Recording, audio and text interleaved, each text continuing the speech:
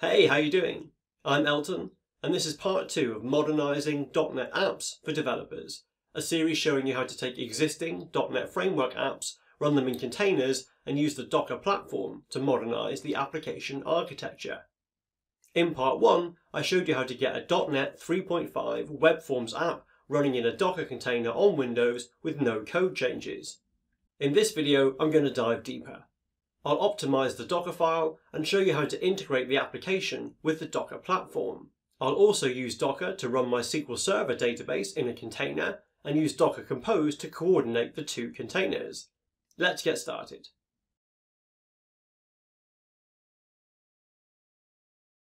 So far, I've written a simple Docker file to package my app. I'm going to show you how to optimize it so the image build is more efficient and I'll show you how to integrate logging and configuration from the .NET app into the Docker world, still without changing code.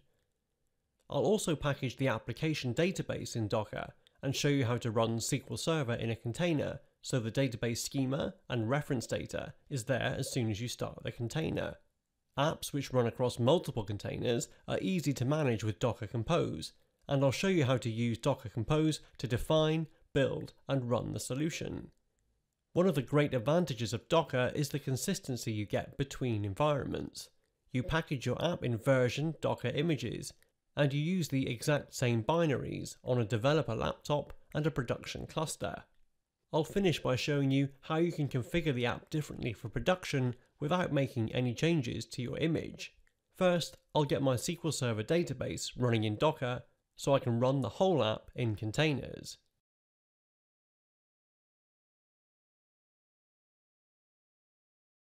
You can run databases in containers, and the workflow is exactly the same as the web application that you've already seen. This is my Docker file, which starts from Microsoft's SQL Server Express image. That's a free to use image, which is publicly available on Docker Hub and is maintained by Microsoft. I'm switching to PowerShell for running commands, and here I'm setting up environment variables.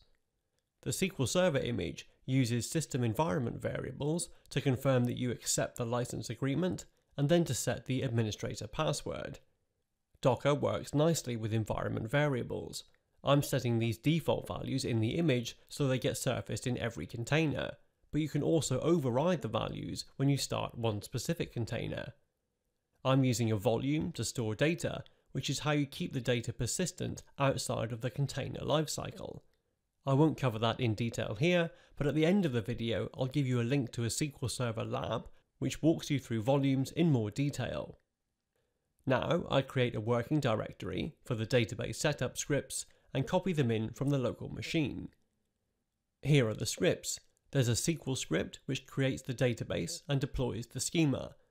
As well as the tables and the keys, the SQL script also inserts reference data values, which get shown in the drop-downs on the website. The PowerShell script runs when the container starts. It checks to see if there are any existing database files, which there will be if this container is replacing a previous version of the database. If the data files are there, it attaches them, and if not, it runs the SQL script to deploy a new schema. Have a look at the lab to see how this is done, but basically it lets you run disposable database containers in development, or persistent database containers in test using the same Docker image.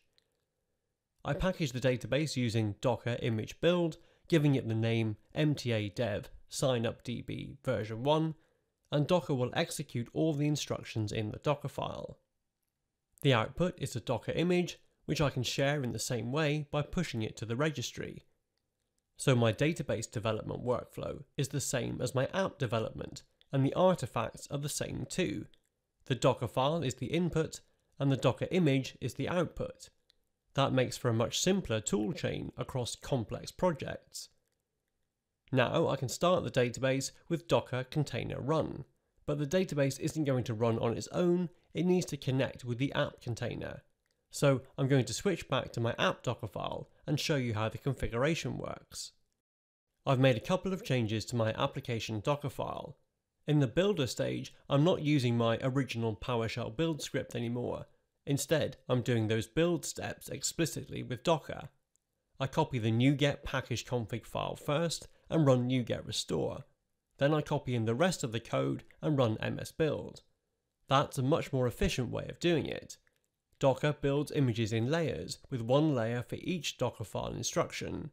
It stores those image layers in a local cache, and if it can reuse an existing layer, then it will. That means if I'm working on the code, but I haven't changed the NuGet references, then the restore stage gets loaded from the cache because the input hasn't changed. Making good use of the cache saves a lot of time in the build. That's also why the final copy command is at the end of the Docker file, so the preceding layers come from the cache if I'm only changing code. Those changes make the build more efficient, but I've made a couple of other changes to make the Docker image more flexible. The first is about configuration, where I'm capturing the path to a configuration file as an environment variable. In the web config file for my app, I'm loading the database connection strings and the log4net sections from separate files. This is standard .NET configuration functionality, and I have config files in the project with default settings for running in dev.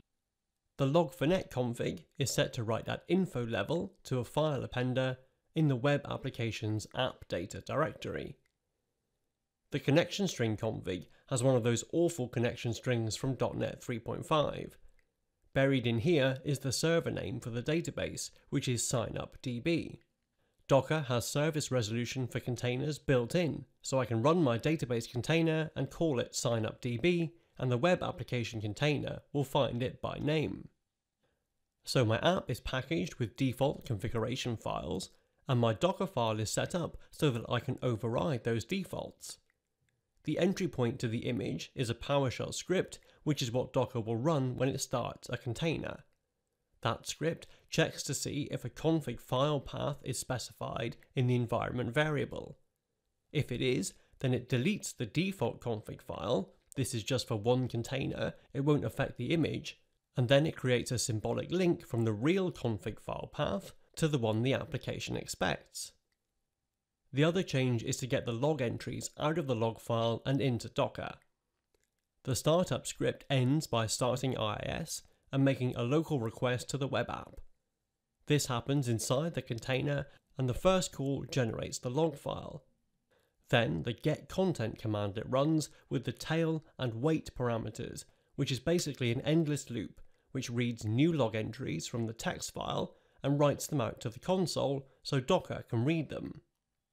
These are great patterns. They mean I can use Docker features like config objects, secrets, and logging to manage my application, but I'm not taking a hard dependency on Docker. The application uses the standard .NET configuration system. There's no Docker client library, which means that I can only run in a container. I can get all the advantages of running in a modern platform without being locked in to that platform. Now I can run my app. I need to start a database container and a web container, and that's captured in this Docker Compose file. Docker Compose is a really simple way to describe multi-container applications. I have my database container here, which will be available to other containers with the name signup.db, which is the default server name in my database connection string. The web app uses my v2 image, and it also publishes port 80 so Docker sends traffic into the container. I've said that the web app depends on the database, so Docker makes sure they start in the correct order, and I'm plugging both containers into the same Docker network. Docker creates virtual networks so you can isolate traffic between containers, and I'm using the default NAT network which Docker for Windows installs. I can run the whole application with one command now, docker compose up D to put the containers in detach mode. Docker runs the database container first and then the application container. This deployment works with the default configuration in the Docker images, so when I browse to localhost, I see the web app, and these drop-down values are coming from the database container. I can verify that by looking at the logs for the web container because I'm tailing that log file in the startup command, my log4net entries are being relayed out to Docker, and I can see log entries saying that the reference data has been read from the database and cached. That's super simple, and the great thing is that these are public images that I've pushed to Docker Hub. So if you want to run this application, all you need is Docker installed and this compose file. Docker will pull the images and run the containers and the app will work in exactly the same way wherever you run it.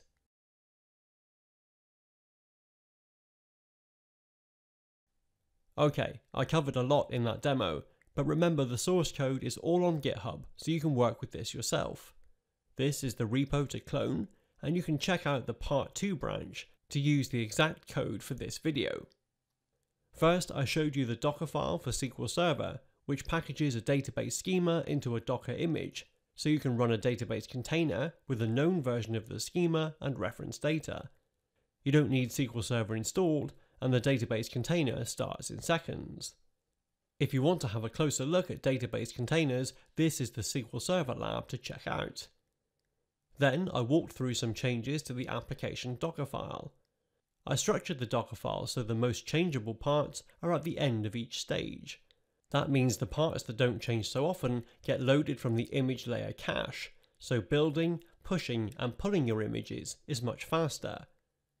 I also changed how the application starts to integrate my existing app with Docker's approach to logging and configuration.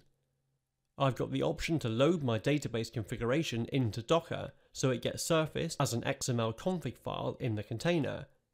And I'm reading my application log file to the console so the logs get stored by Docker.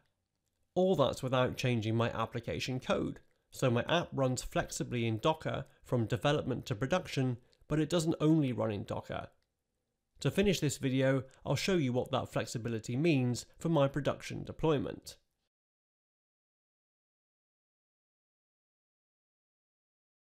This is my production cluster with multiple Linux and Windows servers all running Docker and managed with Universal Control Plane, which is the Docker Enterprise Edition UI. I've created a service for version 2 of my app, and in the configuration I've set a path for the database configuration file environment variable. This path gets populated by Docker from a secret, which contains my actual connection string. The secret is stored in the cluster, it's encrypted, and even administrators can't see the contents. The plain text only gets surfaced inside a container. When I created the secret, I used a connection string which points to a managed SQL database running in the cloud. My production environment is on Azure, and so my application is using SQL Azure for storage. My container running in Docker can access the remote SQL server, and when I browse the load balancer, I see my web application. It's the same application because it's exactly the same Docker image that I ran in development. I'm connecting to a production SQL database rather than a local SQL Server container, but that's all done through configuration. And back in UCP, I can look at the containers running my application service, and then look at the container logs in the UI. So I've integrated my app with Docker, and I can use all the great features of the platform, and I still haven't changed any code.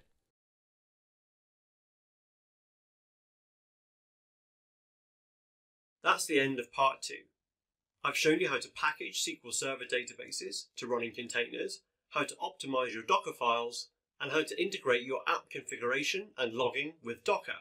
I'm still using an ASP.NET 3.5 app, and I'm deliberately keeping my changes minimal. So far I haven't touched the source code, but now I have an app I can run in a modern container platform. For apps which aren't being actively developed, you could end here. But for apps which are still being worked on, this is a great starting point for modernising the application architecture.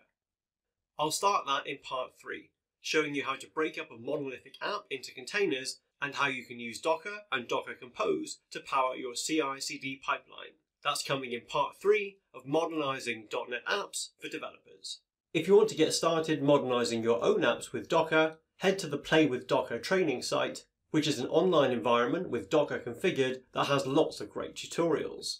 And if you want us at Docker to help you modernize your application suite, head to docker.com slash MTA to learn how we partner Docker architects with infrastructure providers like Microsoft and consultancies like Accenture to bring your apps into the modern world.